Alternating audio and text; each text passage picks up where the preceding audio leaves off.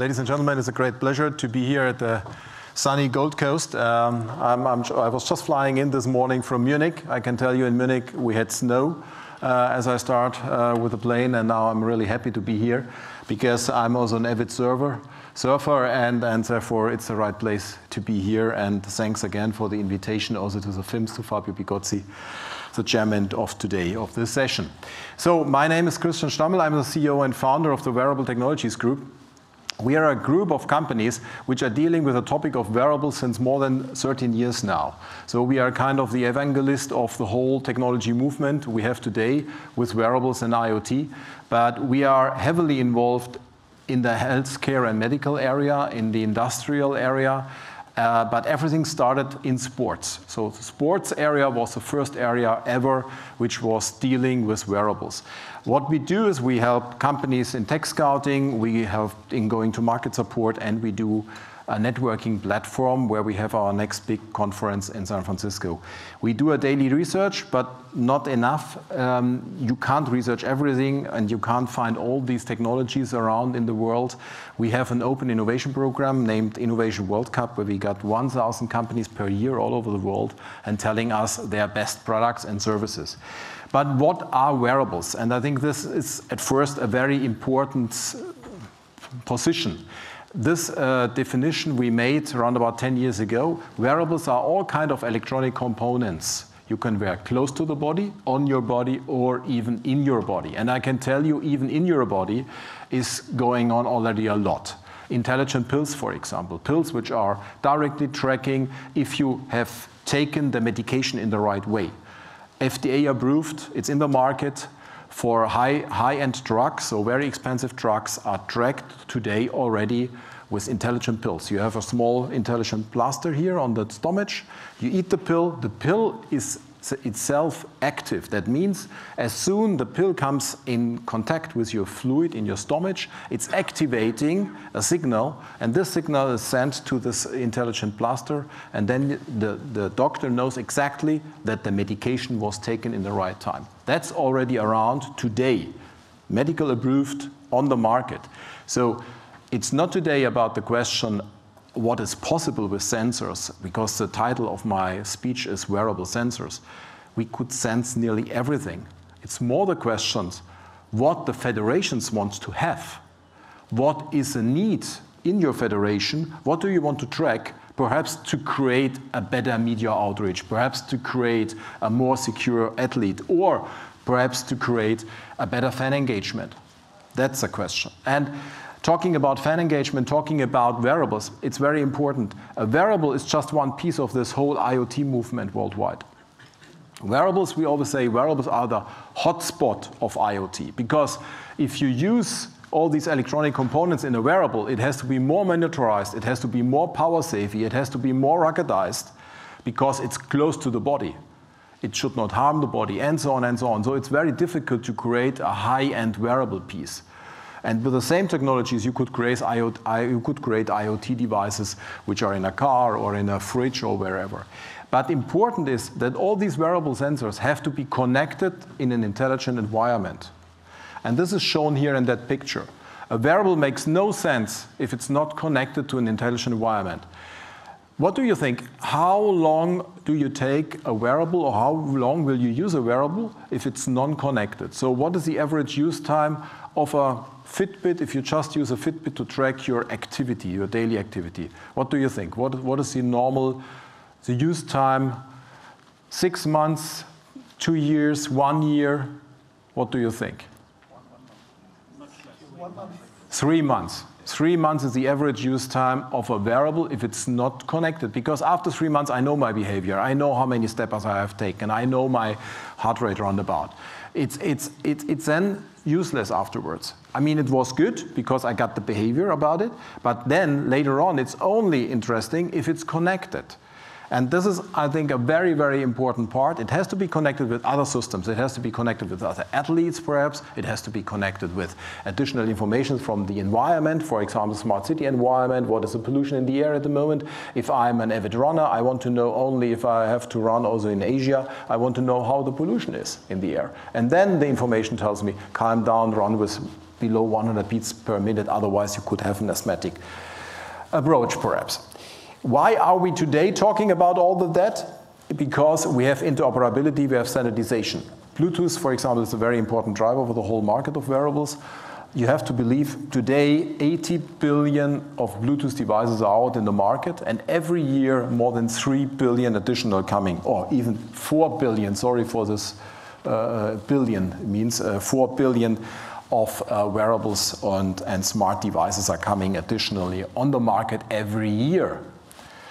If you want to create an ecosystem around a wearable, you have to connect to, to different suppliers. It's not just using a wearable and integrating it in your federation or in your sporting activity. You have to look in, in a lot of values, and only if you really look in all these different categories, you could create a sustainable and long-lasting wearable device. And what we did is uh, we also created an own certification program together with TÜV to check if a wearable device is really sustainable, if it's, it's good enough for the consumer market. And that was a certification program we released uh, five years ago. The market is huge. Just these six segments, these are the six, these are the six segments which are the main segments of the market of the wearables.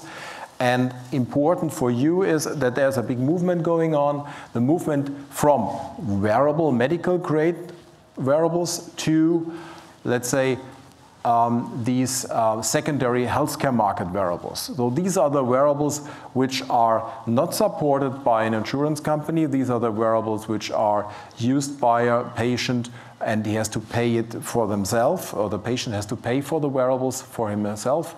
And it's, it's, it's, it's a big movement in this segment, uh, the secondary healthcare market. Um, the shipments are high. So we saw in 2018 around about uh, 350 million pieces. Uh, only in the last quarter of 2018 uh, were around about 60 million wearables shipped. So this is a figure here from um, IDC from the last quarter of 2018, and you see Apple is ahead with the smartwatch today.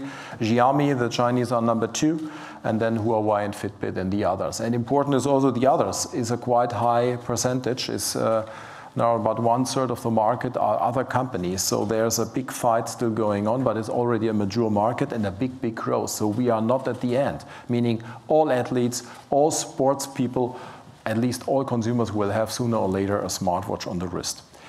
But what is the impact for athletes? And I like these two sentences very, very much. Uh, they are from Sebastian Kienle. He is an Ironman winner from 2014. And these two sentences, I think, are, are very important. Technology tells you where your true talents lie. This is something he recognized after using a lot of different variables. He directly filtered out, okay, where is now my real talent as a triathlete? Where could I perform better? What could I do better? And at least he also told us it's a kind of calibration for him. He could really find the way how to calibrate his body in the right way to be prepared for a triathlon. I, I like these two sentences, and this is exactly what, what, it, what is in for, a, for an athlete at least. I just want to flip now very fast through these five categories. These are the major categories of applications for wearables. So wristables, hearables, eye wearables, patchables, and smart garments. Wristables are clear, all the watches. That's the reason why I go directly to the hearables. And the hearables are interesting because they are deep in your ear. These are two examples here. This is an, an, a sensor which could measure your body core temperature in the ear. If you wear it, you could directly see, uh, like he, um, that um, this is Jan uh, Frodeno also a triathlete, and he's training with this in-ear temperature sensor um, his uh, training activity. Um, everyone who wants to learn more about hearables should recognize the movie Her someone perhaps knows it already. Take a look. You see directly how the future could look like in the next two to three years. It's from Spike Jonze. He got an Oscar for that movie of this hearable. Eye wearables are everywhere around at the moment, especially in the uh, training and tracking facilities. So HoloLens from Microsoft. Uh, this is an example here where they do tests with the NFL at the moment. But not everything is about augmentation of information. It could be also just a sensor. So you could use a sunglass as a sensor. In that example, there's a sensor here behind the ear, and this sensor is measuring your mood. We had this in the morning, brain activity or let's say uh, mood measurement of, of athletes. This sensor measures your mood, your brainwave activity, and gives you the right feeling and the right information. What is your actual mood? And now my favorite, the patches, because you know that if you want to wear, for example, or if you want to monitor an ECG, heart rate variability or whatever, it's, it's a different. It's, it's difficult if you want to measure it directly on a, on a, in a, in a t-shirt, for example. But if you take a patch, you got a very, very clear signal. This is, for example, a, a one-channel ECG patch you can wear for one week, and then you give it to your doctor, and your doctor could read it out. That could be also used for real-time monitoring, for example, for athletes. And we have a lot of patches actually in the market. These are just some examples. This is a patch for asthma patients used already in thousands of clinical trials coming from the US. Very interesting product, and a lot of high-end athletes have asthma problems. This is this uh, one-channel ECG patch, which is working with Wi-Fi, for example. This is also an interesting thing, which is also used by athletes at the moment. It's the uh, Abbott Freestyle Libre. It's a diabetes patch. It's measuring your blood sugar level in real time. Uh, you don't have to stitch anymore in your finger. It's measuring directly on the upper arm your blood sugar level. It's not non-invasive, very important. There is no non-invasive opportunity at the mar in the market at the moment to measure blood sugar, but this is minimal invasive. It has small needles below the blaster, but it's working very, very well and brilliant. And, and some, some athletes are using it already also for, for their activities. And this is also an interesting area, the classical electrostimulation field. So uh, pain relief uh, by electrical stimulation, not big boxes anymore, very, very small miniaturized systems which are acti actively listening to your muscle and, and, and actively working against your pain. Um, and um, this is already also on the market now. And a short view about smart garment, because this lady who invented this garment especially is coming from Sydney. And uh, she realized this uh, product uh, out of New York now, and it's, a, it's a, a, yoga pant, and it's measuring your movement. And if the movement is not done in the right way, it gives you a vibration. So it's also a kind of training tool.